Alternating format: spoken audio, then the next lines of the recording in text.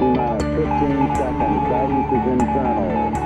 12, 11, 10, 9. Ignition sequence start.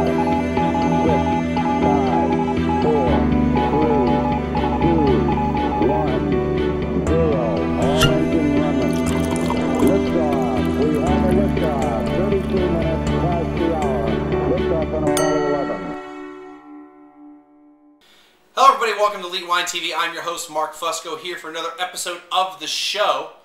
And uh, this is going to be a elite show today. Right. All right. So, a little history about this wine.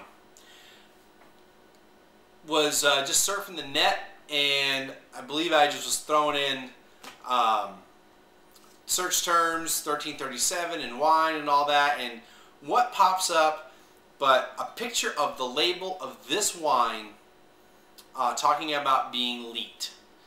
Now on first look and you know I, know you can't really see the label very much you'd go I don't get why it would be.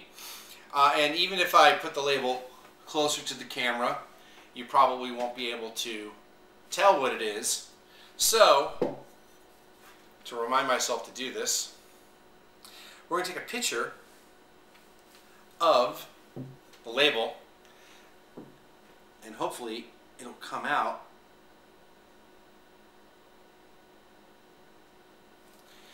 If not well then too bad so sad. But we'll do one more picture because I don't think that other one came out very well. Okay so what are we drinking? It is the 2005 Chateau Petit Pouche, or Pou, or Pou, Puck, or Pooch. I don't know. You tell me what it is. Uh, 2005 Petit Pouche. Uh, and uh, it's from Bordeaux. It's from the uh, Graves de Vayres, maybe Vayres, uh, area of Bordeaux. And um, it was $21 from uh, Artesian wines. Now, this was a wine that took me a little while to find. Um, it's not available in your in my usual spots that I like to go look for. One of them being Wine Library, um, but WineSearcher.com, and I'll put the link to that below. Uh, WineSearcher.com is what I had. Uh, is actually how I found it. I spent about a week or two just on and off looking for it. Um, so 2005, uh, it is an 80% Merlot, 20% uh, Cabernet Sauvignon blend and um, 2005, by the way, which 2005 was an incredible vintage for Bordeaux. So pretty much any wine that you get from there, whether it's a great wine or not, should be pretty good. This part of Bordeaux is in the Entre-Deux-Mers, uh, so that is in between, well, between the two seas. Uh, it was in between the, the left and right bank of uh, Bordeaux, and this particular winery's um, property is directly across the Dordogne River from Saint-Emilion and Fronsac. So let's see what it's like. Oh, it's kind of neat. The label, you can't see in the back. I don't know why I'm doing that. Is in French and English, the back label.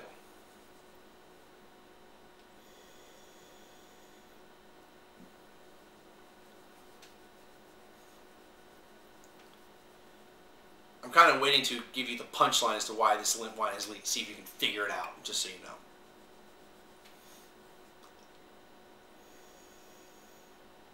All right, so initially the, the nose is pretty neat, pretty neat, pretty nice and neat at the same time. Um, I like it. There's a there's some nice red fruits. I'm getting a little bit of chocolate in it or on it on the nose. It's not too hot. Um, it's a 13.5% alcohol. I don't get a lot of alcohol on the nose. Slight bit of sweetness to it. But I know it's kind of like cherries. Cherries and chocolate. So let's see how it tastes.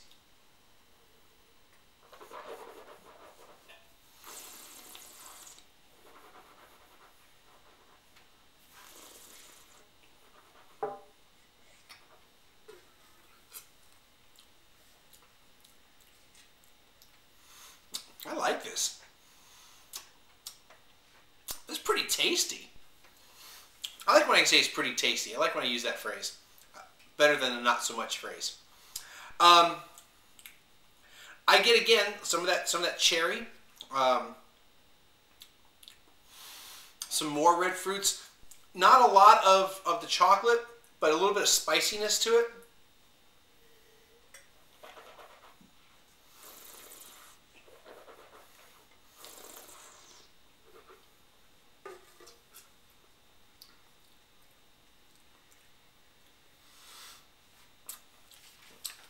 I'm going to read the description because I think this kind of really does talk about a little bit. Now, there's two.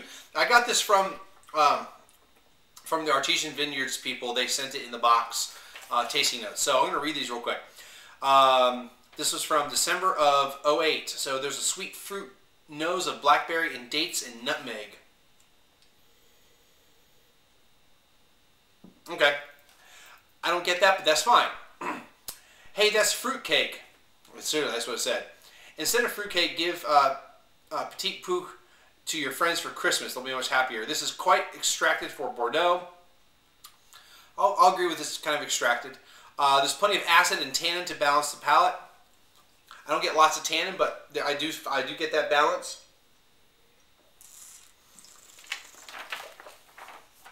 You know, I'm not getting super dry mouth out of it. The warm blackberry flavors linger long after. Uh, then the other one, the fruitcake nose of the prior tasting has started to show a nuance of chestnuts roasting over a barrel. I don't get that either. I don't get the nuttiness, but that's okay. I mean, that's a, it's a nice description. A fine silky texture in the mouth, followed by a goodly, goodly chunk of tannins. They are fairly soft, so they're not distract, they're detracting now, but do indeed promise a nice aging potential. Nice cherry fruit all the way through the finish. Oh, I got the cherry. And I did read this, but I didn't remember what it said. I, I, when I saw the fruitcake, I was, oh yeah, they did mention fruitcake. Uh, this was from March of 09. So, um, it's a pretty good wine. Uh, it's 21 bucks. It's hard to find. Um, it is 14 euros from the website, though. Uh, you have to, I think you have to like email them to be able to order it. So I'm not really sure how you would do that, but I'll have a link below for the um, website. I didn't really have a song to do. I thought the bells were kind of neat, you know, Chateau, France, all that. So um, let's give it a rating. Uh, I like this a lot.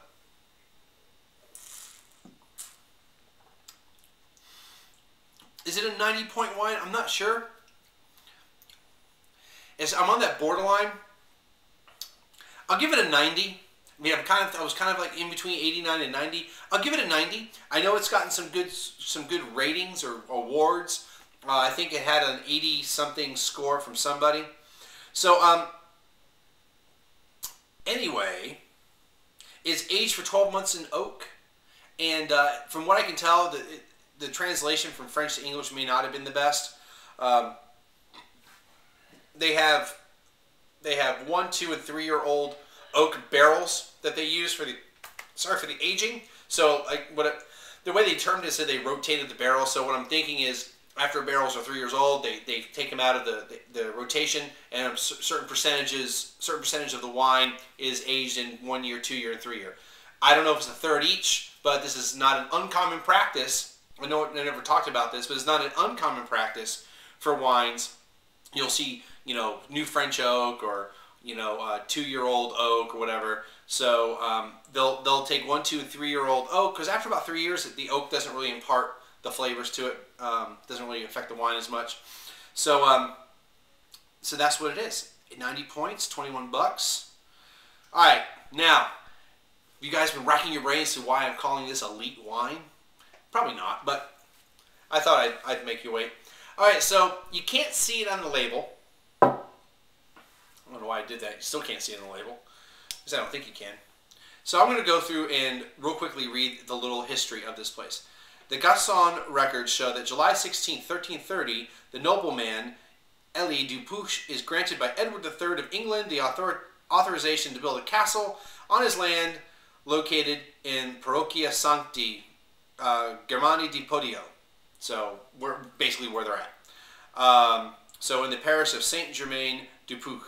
Uh, problem was Elie died, uh, soon after, and the royal grant was renewed to the benefit of his, of his successor Raymond on June 16, 1331.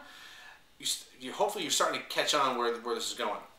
But it is finally Gaillard du Puch, after a third grant in 1348, who built the fortress of Grand Puch close to his noble house, more ancient, uh, more ancient mansion owned by the lords of Puch, who lived in Saint Germain since the 13th century. Uh, blah blah blah, yada yada yada. I won't go through the rest of it. Um, so, it was founded in 1337, the actual chateau. It says it right there. Fondé, fondé on 13, I don't know how to say 1337 in French, sorry. So, it's elite wine. I had to get it. Found it in this, it, this, this chateau has been making wine for a long time. Um, or the chateau's been around for a long time. Let's put it that way. Since 1337, the, uh, it's, uh, it's been there. And I'm proud to get some of this wine. Uh, it's good wine if you can find it uh, and you got 21 bucks to um, to spend on it, I say go ahead, just for the uh, geek factor alone. Uh, get it.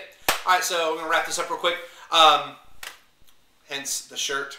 And you, I know you can't read it, but 1337. So I'll let you figure out what the uh, university, what this is, uh, and what the Latin phrase is. I don't know if you can read the Latin phrase or not.